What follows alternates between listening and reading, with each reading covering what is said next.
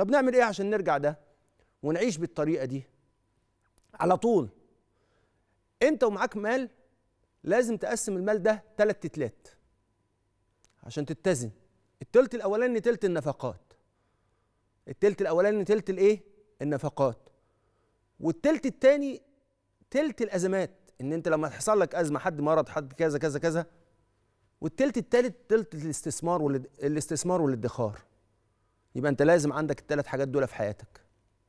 ولازم تربي أولادك على ده. وتعلمهم إن دوت إيه اللي حاصل؟ لما بنعمل ادخار ونعمل احتياطي لحياتنا على طول مدارس الأولاد غليت. يبقى خلاص انتظر ورثتك أغنياء خير من أن تذرهم عالة يتكففون الناس. لازم يبقى عندك ادخار. طب الادخار ده مش اعتماد على الله سبحانه وتعالى؟ لا الاعتماد على الله سبحانه وتعالى.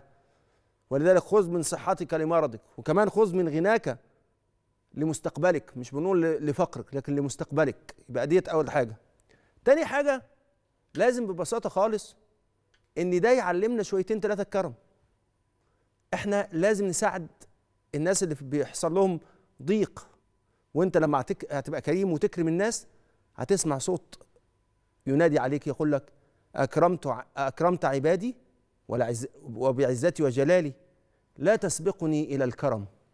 فتلاقي ربنا وسع عليك. ولذلك ما نقص مال من إيه؟ من صدقة. فلذلك هتلاقي وسع. يبقى لازم يبقى في جزء من مالك للصدقات عشان تلاقي الوسع ده كله.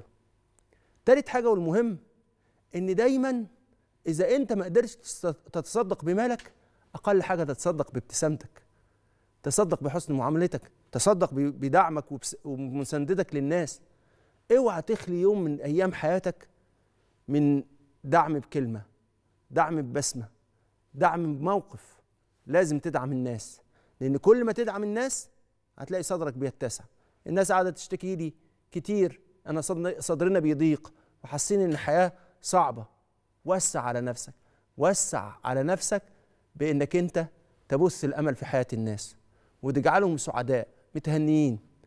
ويا سلام لو قدرت تكرس في الناس إن كل يوم الصبح يجي وياه شنطة فرح شنطة هدايا وحنان تداوي اللي اتجرح يمسح بنوره في قلوب المحتاجين يطرح منح. الصبح يا صاحبي مش مجرد نور الصبح باب جديد للحياة واتفتح. جعلنا يا رب على الدوام متأملين فيك الخير وأكرمنا بأن تشرح صدورنا للكرم. وللإنفاق الرشيد واجعلنا دائما تتعلق قلوبنا بما عندك من خير ونكون من أهل اليقين بودك ومددك وكرمك يا رب العالمين.